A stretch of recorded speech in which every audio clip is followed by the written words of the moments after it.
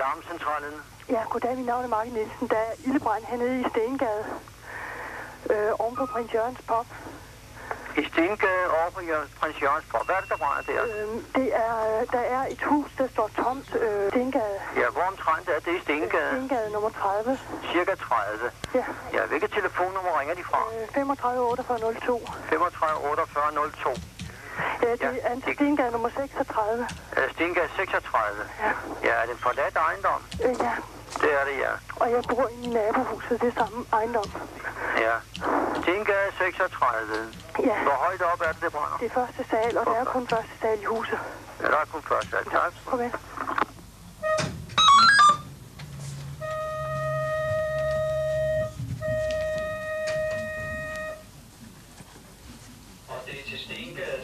36. Stengade 36. Det er med så vidt i lejlighed.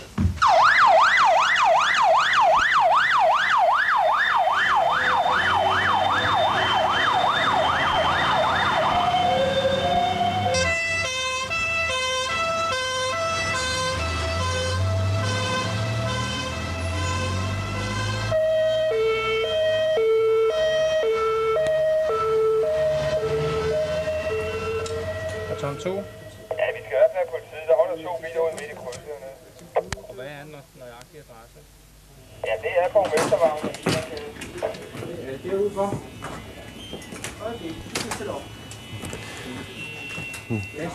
Ja, god aften. Vi er på øh, Københavns hovedbrandstation i Hovedstadsrådets vagtcentral. Og det er også den, der kaldes 3x0. Den er brandalarmering, vi så starten på her i udsendelsens begyndelse, det var en helt rutinemæssig brandalarm, og den skal vi nok vende tilbage til. Vi vil i den næste halve time fortælle om livet her. Vi vil fortælle om med nogle praktiske oplysninger, hvis nu de en dag får brug for uh, hurtig hjælp. Vi hører om, hvordan personalet her oplever folks henvendelser, og vi følger også med på et par udrykninger. Lige for øjeblikket er der født temmelig travlt her, kan vi se. Vi begynder med at se på, hvad der- hvordan det egentlig gik med den brandalarm, som vi så begyndelsen af. Vi var med på brandstedet her forleden nat.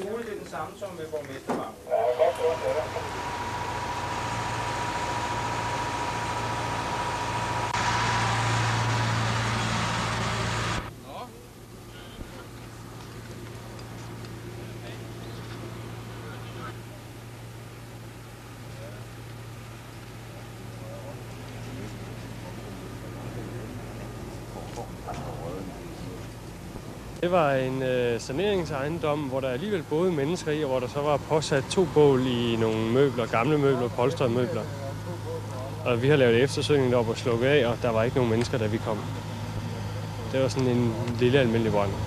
Market, som bor ved siden af mig, har været inde hos mig. Og vi har siddet og snakket helt tilfældigt sådan til kl. 12 om natten. Ellers så ville vi måske have gået tidligere i seng. Og så kommer jeg ud på mit væse, som ligger lige så jeg kan kigge ind til naboen, som har boet derinde før. Og øh, så kunne jeg se, at der var noget lys derinde, og det har der ikke været i mange måneder, fordi der ikke er nogen, der har boet der cirka et halvt år. Og så øh, kunne jeg se, at der var noget ild, og så gik jeg ind til markedet, og så ringede vi efter en oppe. Reagerede de hurtigt på Ja, de øh, kom. alarmcentralen? Simpelthen, det tog To et minut minutter eller sådan noget. Ja, lynhurtigt. Jeg nåede lige at få katten med. Gik beskeden hurtigt igennem, hvad I havde brug for? Der var, der var sådan lige ventetone. 30 sekunder eller sådan noget. Altså sådan en automatisk telefonsvar. Så var det kontakt. Og kontakt, det var her til alarmcentralen gennem borger, som det her øh, er det er opkald. Alle opkald til 000 fra hovedstadsområdet går ind, og der er et opkald på vej også i øjeblikket. Øh, jeg kan sige, at øh, der er ca. 700.000 opkald om året til denne her alarmcentral, eller i gennemsnit små 2.000 opkald i døgnet. Men det er altså også herfra, man dækker et område på øh, 1,3 millioner indbyggere. Jeg vil lige straks her komme med en advarsel til folk. Man kan, og det er der altid nogen, der er lejlighed nok til at gøre, dreje 000, når der ikke er nogen grund til det, og det er med misbrugssystemet. Men man skal lade være, fordi på en skærm som det her, der kan man fastholde samtalen, man kan spore den, og man kan dermed fange misbrugeren, og det plejer at koste bøder, og det kan være temmelig dyrt, skal jeg hilse at sige. Opgaven herinde øh, klares i øjeblikket. Det er på dagvagtens sidste time er et hold på fem mand.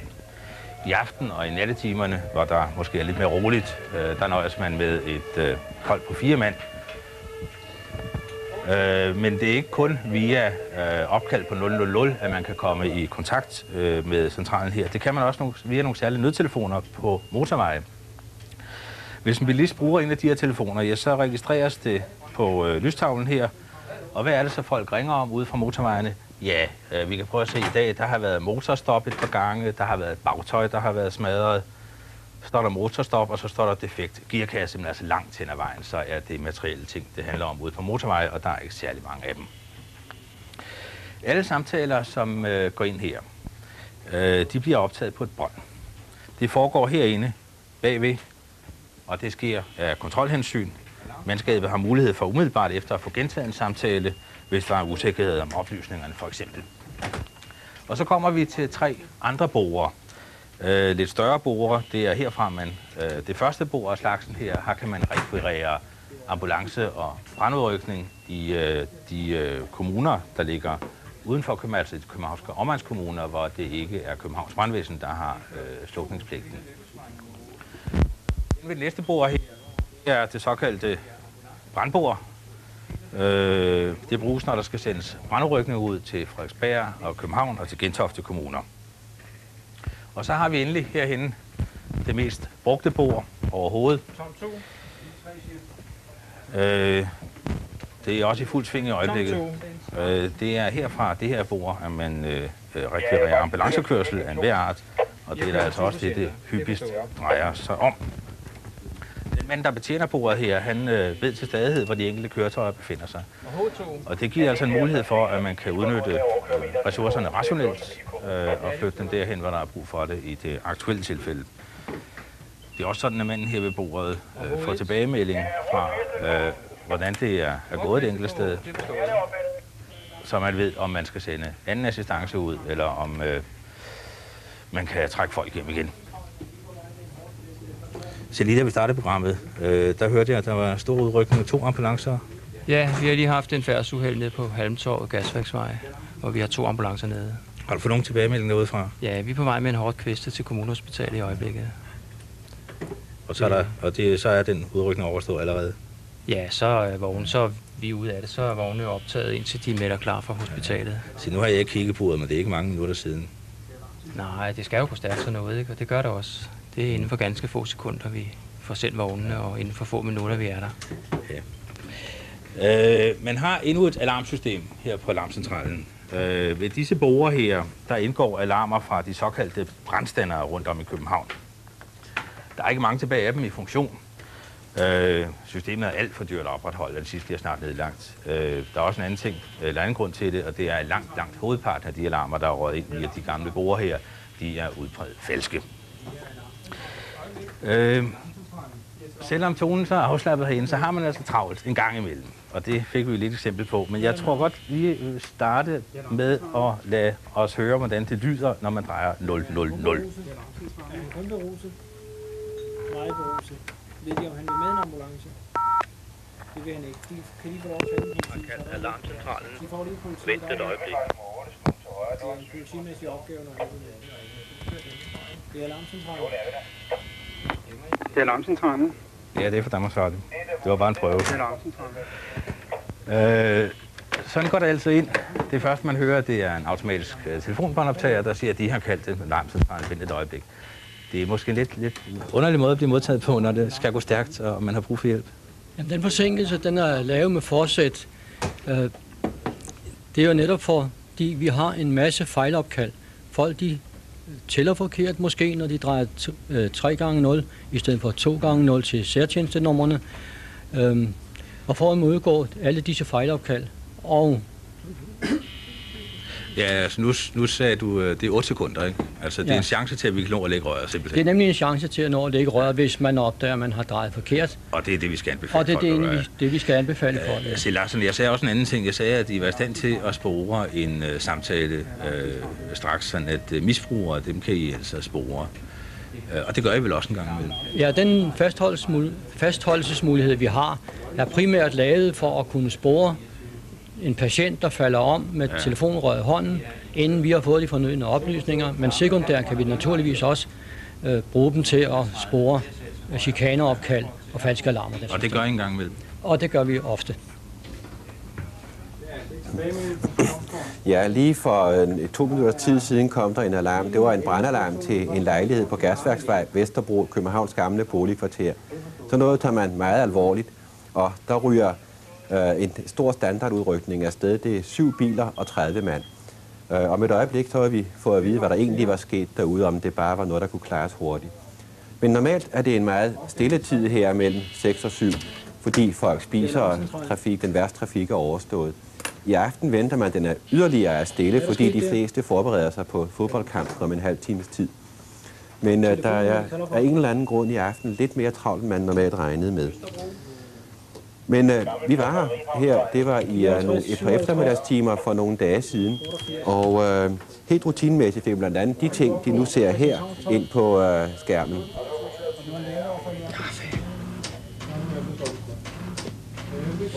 Åh, oh, ja, ja, ja. Du skal ikke tænde alle sammen på en gang. Det er alarmcentralen. Ja. Alarmcentralen. Det er alarmcentralen.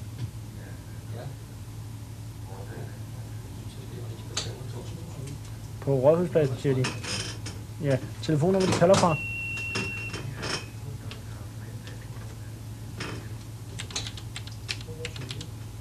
Ja, hvad er der sket med den mand? Han er bevidstløs. Vi sender en ambulance til ham. Hold.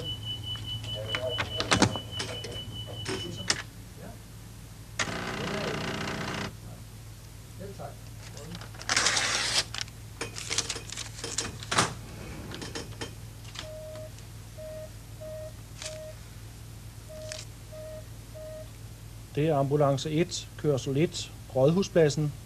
Det er ved toiletterne, sygdom.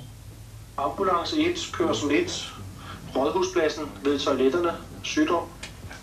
Ambulance 1, kørsel 1, Rådhuspladsen ved toiletterne, sygdom.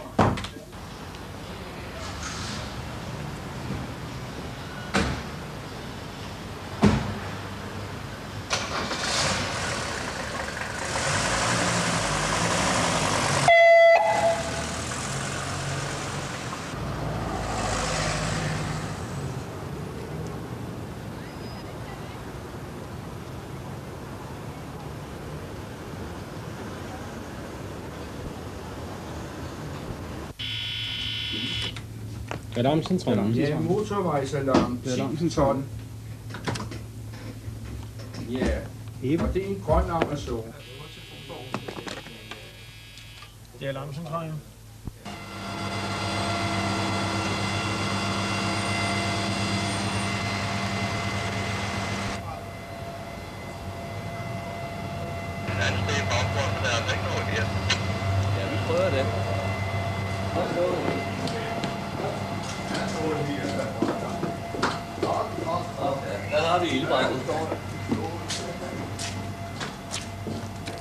I kan komme ved højtrykkerne herovre. Det er de øvrige.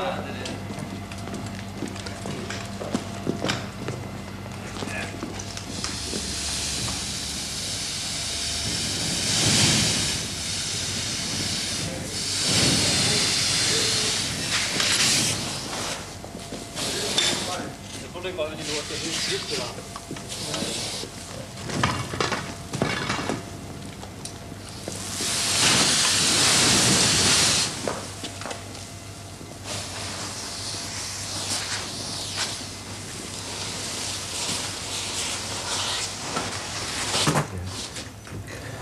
Ja, det kan godt være, det ser sådan ud, men øh, det var altså ikke en brand, som vi havde arrangeret, den som vi ser afslutningen på her. Det var formentlig nogle drengestreger.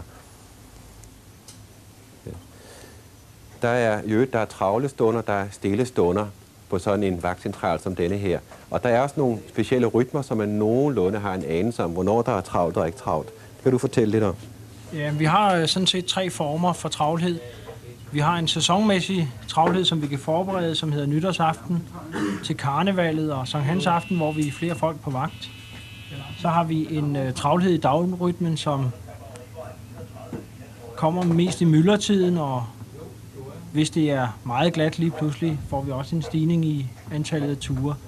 Og så har vi en akut travlhed, hvor et, øh, der måske sker et mindre færdselsuheld, men i et stærkt bebygget område, hvor vi så får både 20, 30 og måske 50 meldinger på. Vi har også en form for travlhed, der måske gør, at vi går to eller tre mand på en enkelt samtale, fordi en abonnent kan være svær at forstå, eller vi kan have svært ved at få oplysningerne ud af abonnenten. Man kunne forestille sig, at en dame ringer og siger, at det brænder. Så siger man, hvor brænder det? Ja, det brænder ovenpå. Hvor bor de henne? Ja, jeg bor nedenunder. Ja, hvor, bor, hvor ringer de fra? Ja, jeg ringer hjemmefra. Og det kan være svært at få folk beroliget så meget, at man kan få de konkrete oplysninger og kan få sendt brandkøretøjer. Når du siger det på den måde, hvordan vil jeres øh, yndling, skal vi kalde det, kunde henvende sig til jer? Hvad skal han meget kort sige? Vores yndlingskunde øh, præsenterer sig kort, fortæller om de skal bruge politi, ambulance eller brandvæsen, og så en korrekt adresse og et korrekt anmeldertelefonnummer. Men se, når vi nu kommer ind på det, så har I jo haft mange ejendommelige anmeldelser. Jeg har hørt, at Jørgen engang har fået få et per brev, og det var ægte. Ja, der var en, en dame, der skrev til os om, at hun var faldet, og så havde fået niesen til at tage brevet med ned i postkassen. Hun ville ikke ulejlige brandvæsenet ved at ringe til dem. Og så sendte vi dagen efter, vi havde, eller rettere sagt dagen efter det var afsendt, dagen, den dag vi modtog det, en ambulance over og hentede en dame med et brækket ben. Øhm, med hensyn til anmeldelser, I kan pludselig få travlt, fordi der er mange, der anmelder den samme lille ting. Kan I også komme ud for, at nogen, øh, ikke, altså en hel masse mennesker ser noget, de ikke anmelder? Nej, det tror jeg ikke. Folk er meget øh, venlige til at anmelde andre ting, hvor vi måske kunne forvente, at de i første omgang godt kunne hjælpe den pågældende lidt op på ret køl. Se, en, en anden ting, jeg har hørt her, det var, altså nu er det her jo en alarmcentral for hovedstadsområdet, men I øh, kunne hjælpe mig en gang finde en, en brandanmeldelse fra Fyn hertil. Ja, det ligger sådan, at folk ikke altid ringer 3 gange 0 når de har en ulykke, men ringer måske til deres datter, eller en søn, eller en pårørende. Og den pårørende kan så bo i et andet alarmeringsområde, og når vedkommende drejer 3 gange 0 der, hvis det er i vores alarmeringsområde, kommer vedkommende ind til os og melder en, at det brænder eventuelt. Har vi haft en på Fyn, hvor en gård der brændte, og øh, så må vi finde ud af, hvor den gård konkret ligger, og så få sendt for alarmeret Fyns, brandvæ, eller Fyns brandvæsen i det distrikt, der nu er brug for. Og det finder I så også ud af. Ja. Se, til vi har, der er noget, der hedder virkelige spidsbelastningsperioder her. Og øh, Pile, du, du kan fortælle om et eksempel, hvor det gik meget hit til her. Det Ja. var, jeg må lige på hånd sige, det var for et par år siden, da der skete en eksplosionsbrand ude på uh, Søjakagefabrikken på Islands Brygge her i København. Hvordan oplevede du det? Ja, selve optakten til Søjerkan var egentlig ganske banal. Det drejer sig noget benzin på gaden, hvor et enkelt køretøj bliver sendt afsted. Der bliver ret hurtigt kaldt noget stance. Inspektøren kommer derud, der kommer to køretøjer. Og der bliver meldt, at der er dampe, som måske kommer fra noget af ekstraktionsanlægget, som er på Søjerkan, som vi i øvrigt som brandmænd ved er ganske alvorligt område. Altså meget farligt. Ja, absolut. I øvrigt kendte, for vi kommer tit til diskussioner og sådan noget. Og herinde begynder vi sådan at snakke om, hvad det egentlig foregår derude. Og så sker der det, at vi mærker en rystelse i huset, og Ole Kål så vender sig om at kigge ud af vinduet, og der er som om, jeg man kan tænke sig en kæmpe blitz ud over Tivoli. Lige om der trykker af på en stor blitz, og så kom eksplosionen. Og havde den her vagt været, kan man sige, normal, så var den på det øjeblik unormal. Så væltede den med på melding med bordene. Vi har Hvad, var din første tanke? Jamen, første tanke, det var, at vi er folk derude. Hvad er der sket med dem? Ja, Hvor meget er der sket? ja, Vi vidste, at det var farligt. ja. Og så vælter med meldinger, og så kom samtidig radiomeldingerne ud fra området, hvor de begyndte at kalde ambulancer ind og ekstra køretøjer. Og så skal jeg love, at den vagt blev anderledes. Og det var til klokken 8 om morgenen, uafbrudt. Og mod forventning, så er det altså fløjtet ind med opkald her i den korte tid, vi har sendt. Der har faktisk været temmelig travlt her på Alarmcentralen. Øh, Erik, du har prøvet at følge med i det. Øh, hvad har der været? Ja, øh, den ildebrand, som vi har omtalt, ikke, det, det viser sig at være øh, ild i en elinstallation. Men ikke desto mindre, så har man haft en stor, eller i hvert fald en af de, de ret store udrykninger derude. Ja, ja, det er, det er 30 mand og syv vogne. Hvad har der ellers været? Ja, Så har der været en øh, færdselsulykke på Halmtorv, hvor man har sendt to ambulancer. Den har vi også hørt om. Det var den, vi hørte om, hvor der Ja. var hår- en hårdt kvæstet. Øh, så har der været en formodet bombe, som de så også stiller over til politiet med det samme. De tager sig ud og så undersøger det. Har der været noget som helst omkring det, her, der er fodboldkamp det senere? Ikke øh, inden for de sidste øh, kvarter og halv time. Ja. Det har der ikke. Altså, nu er det ikke engang halvdelen. Ja, det er vel kun i virkeligheden en tredjedel af alle de opkald, man får her, som er, om jeg så må sige, ægte, alvorlige sager. Øh, masser af opkaldene, det er noget såkaldt telefonfis. Øh, det er så nogle som de her, som vi fangede i løbet af meget kort tid øh, for et par dage siden her på vagtcentralen.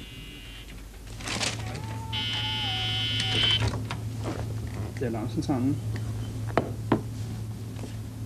Smager det godt? Vil I ikke få en bid også? Det er fint, tak for det.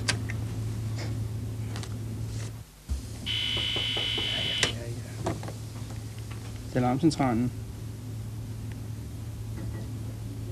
Det er alarmcentralen.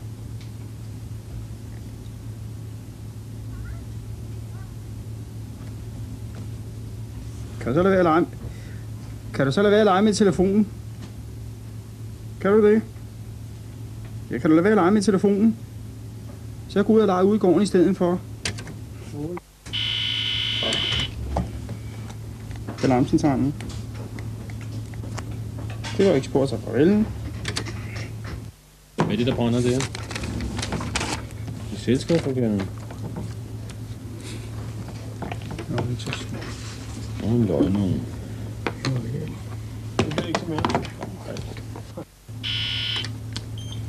Det er alarmcentralen. Nu er der også en her Røgby Nielsen.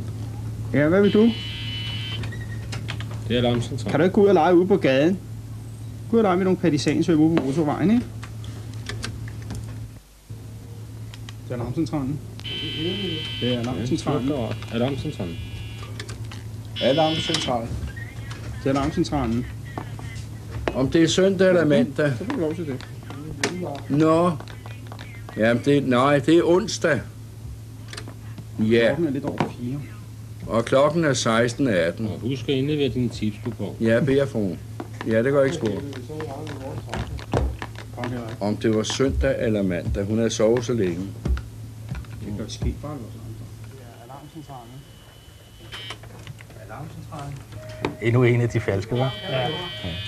Nu hende vi havde her, der sagde, om det var søndag eller mandag, det var så onsdag sidste uge, og nu er der så også onsdag i dag. Ja. Hende har du hørt om før? Ja, det er en ældre dame, der bor formodentlig alene, og som ikke rigtig kan orientere sig om det er dag, aften eller hvad det er. Så ringer hun herind, og hvis vi har mulighed for det, hjælper vi hende. Og har vi ikke mulighed, så afbryder vi. Ja. Og der er Det er alarmcentralen. Det er alarmcentralen. Det er alarmcentralen. Og det er alarmcentralen. 65. 68. Har du der lå og lægge røret der, hva'? Ja, og dem har vi jo mange af. Men man blive ved med at sidde og være flink over sådan nogle mennesker? Ja, det er vi jo pisket til at være. Ja, det skal du være. Ja, og det kan godt være svært en gang imellem. Det kan også være svært at afgøre, om det er telefonfis en gang. Børn ringer ind mange gange, og så siger vi, at de skal, når vi bliver grove, de skal gå på motorvejen og lade med Ja, det hørte vi. Det er alarmcentralen. Til højre, altså hvad er noget i lejligheden? Og øh, fremmearbejde. Så nu er den der igen. Det er stadigvæk det er alarmcentralen. Det er alarmcentralen. Men der har også været tilfælde, øh, hvor det er børn, der ringer op, for eksempel børn og gæstearbejdere, hvor I måske umiddelbart tror, det er telefonfis. Var det og sådan? det, det, de fleste af gæstearbejdernes børn går i skole og kan dansk, hvor øh, forældrene mange gange ikke kan dansk. Og så, Og så, beder de, så sidder de og afgør, om det er rigtigt, når børnene ringer op og siger, at forældrene er syge.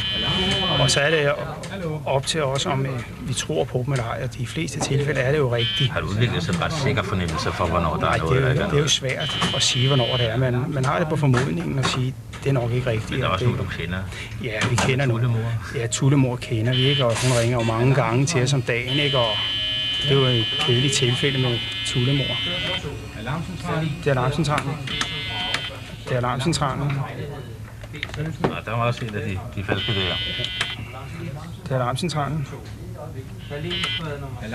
Sådan er de, men det er usædvanligt. Ja, det er, men det er nok øh, nu i øjeblikket, det er fjernsynet. Jeg skal måske lige gentage, du kan jo altså godt begynde at spore nogle. Jeg kan godt begynde at spore. Vi kan holde fast på nogle af numrene, ikke? Og så Ja. kan vi spore dem. Det er altså ligesom om, at nu Ja, kan folk nu, se, at vi... nu snakker vi om indvandrerbørn, som, som kan lyde som telefonfis. Men jeg har også hørt om dem, der ringer op og siger, hvor du slet ikke kan høre noget som helst. Nej, men der har vi nogle faste, vi siger, astmapatienter, hvor vi så ved, at det kan være dem, og så spørger vi, og så efter flere gange, så får vi frem til, om det er dem, vi, kan, vi bliver ved med at spørge om det samme og det samme. Og så ved vi, hvor de nogenlunde bor. Og så kan I så hjælpe dem Så kan vi der. hjælpe dem, ikke? Og så nogle gange holder vi forbindelsen indtil ambulancen er fremme. Og så er vi sikre på, at det er den rigtige, vi er ved. Der er den igen. Det er alarmcentralen. Du skal have arbejdsro. Det er alarmcentralen.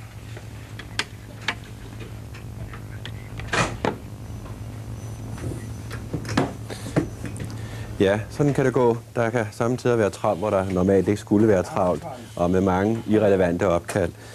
Øhm, bortset fra det, I har tre muligheder for at svare samtaler, og samtidig så er der ventetid. Det er der lige nu, kan vi se. Øh, kan I gøre det bedre? Øh, Det er der ingen tvivl om, at øh, med flere ledningsforbindelser, så vil man kunne gøre det bedre. Men det kræver altså nyt udstyr, mere moderne teknik. Og hvad med at få det? Jamen, øh, for øjeblikket under hovedstadsrådet ved at planlægge en ny alarmeringscentral, som vil køre efter de mest moderne principper. Og der vil man forhåbentlig da undgå, at øh, der skal være ventetid på nogen som helst ledning. Øh, Hvad kan I yde mere af, mere service ud over ventetid på sådan en ny alarmcentral? Ja, på grund af datateknikken er der mulighed for en øh, hel masse andre ting, hvis man ønsker det. Det er også et spørgsmål om, hvad politikerne ønsker, at øh, en alarmcentral skal tage sig af. Altså lad mig for eksempel sige, at svenskerne, så øh, 000, der kan man også blive henvist til noget, der hedder en vagthavende præst, bare for at give et eksempel. Altså en helt anden form for nødservice. Kan I klare den? Ja, det er jo nemt nok at klare, men det virker som om, det er lidt uden for 000's område. Jeg synes ikke, man burde tage de ting under 3x0. Det er et alarmtelefon, og det gælder om at kalde 3x0, hvis man har brug for øh, hjælp med hensyn til ild eller ambulance, og ikke med hensyn til præster og lignende. Lægevagt måske? Gas- og vandmester, hvis øh, rørene springer? Det kunne man forestille sig. Man kunne forestille sig et andet nummer, man kunne øh, komme ind på, når det drejer sig om disse mere, skal vi sige, mindre væsentlige, mindre vigtige ting. Mindre hastende ting. Den alarmcentral, øh, hvornår kommer den en ny og bedre service? Øh, der er planer om, at øh, om et par dage skal der tages endelig stilling til færdigprojektet. Der ligger for øjeblikket et dispositionsforslag til en ny alarmeringscentral. Og øh, på fredag skal der tages stilling til, om øh, man skal gå i gang med et færdigt projekt. Og så, hvis man gør, hvis man siger ja til det i øh, Hovedstadsrådets økonomi- og planlægningsudvalg, så vil den nye alarmeringscentral kunne stå færdig om cirka 2,5-3 år. Hele kælderen under os er totalt spækket med teknik. Det vil koste nogle knapper at lave sådan en ny Det central. ved det. Man, man har regnet med for øjeblikket 45 millioner kroner for, som øh, omko- omkostninger til teknik og, og bygninger. Ja. ja. Øh, vi skal prøve at se på, hvad der egentlig sker lige for øjeblikket her, hvordan situationen er. Ja, og der er stadigvæk hektisk, men øh, ja, nu der så ovenkøb kan jeg høre noget øh, ved at være lidt problem mod Vinersparken. Den sidste halve time har været noget mere hektisk, end det plejer at være. Heldigvis har man det for det meste fredeligt derinde. Men et af problemerne er, at man jo aldrig her på Alarmcentralen ved, hvornår et opkald det er en bagatel, eller hvornår det er alvor. Alarmcentralen.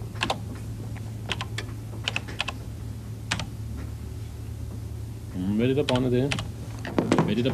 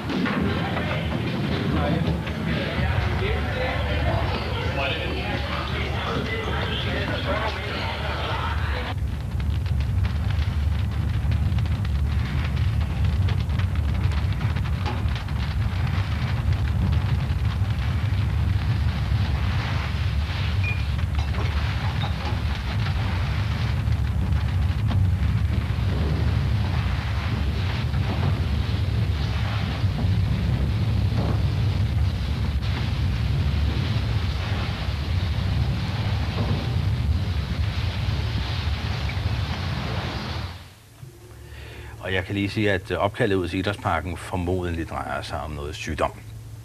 Jeg skal også gøre opmærksom på, at øh, den sidste reportage fra en brand, som vi viste, stammer fra en helt ny film, der er lavet. Den hedder Røgdykker og handler om et røgdykkerhold netop her på Københavns Hovedbrandstation.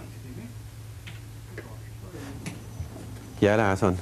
Øh, nu har i kampen i Idrætsparken om, det, hvad bliver det, en lille halv times tid. Den har jo altså givet lidt ekstra arbejde alligevel allerede. Jeg synes egentlig ikke, at selve kampen har givet, eller forberedelsen til kampen har givet så meget arbejde. Det er mere andre steder i byen, vi har haft travlt. Men vi har dog haft et par udrykninger til, til Idrætsparken. Heldigvis ikke noget alvorligt. Det er folk med, med, med ilde, sådan, øh, vildt ilde, ildebefindende. Så jeg synes egentlig ikke, vi har mærket så meget til selve kampen. Øh, efter den kamp, altså om øh, et små et par timer fra nu, så blev der sluppet 50.000 mennesker ud. Øh, plejer så noget at give ekstra? Det kan give ekstra. Det kommer lidt an på, hvad det er for publikum, og man er uenig med dem om kampens resultat. Men i almindelighed mærker vi ikke meget til det. Alright. Men, jeg men så- nogen vil da altid ja. komme, ja. Må jeg så spørge jer, hvis I vil have en rolig aften herinde, hvordan skal den kamp så helst ende? Så skal vi jo helst vinde.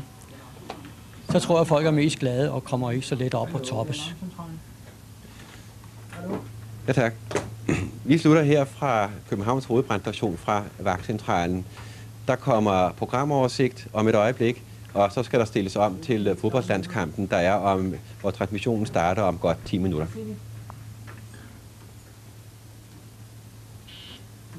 Telefonnummer, de kalder fra, hvad er det?